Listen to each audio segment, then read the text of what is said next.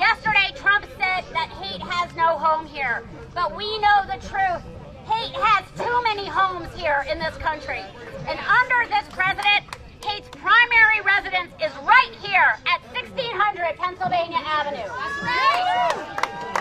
He says hate has no home here as he openly incites violence against immigrants, communities of color, and religious minorities and other marginalized communities.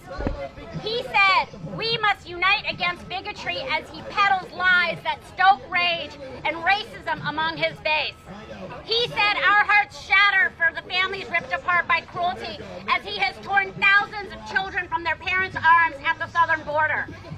The president has blood on his hands, and no scripted press conference is going to be able to wipe that clean. The issue that we face with all of the coverage from the horrific events over the last weekend is one message is loud and clear. It is about the hate and the hateful rhetoric emanating from the White House, right. and it's also about our lax gun laws. We are right. arming hate in this country. And the president takes to the airwaves yesterday and he says it's about video games.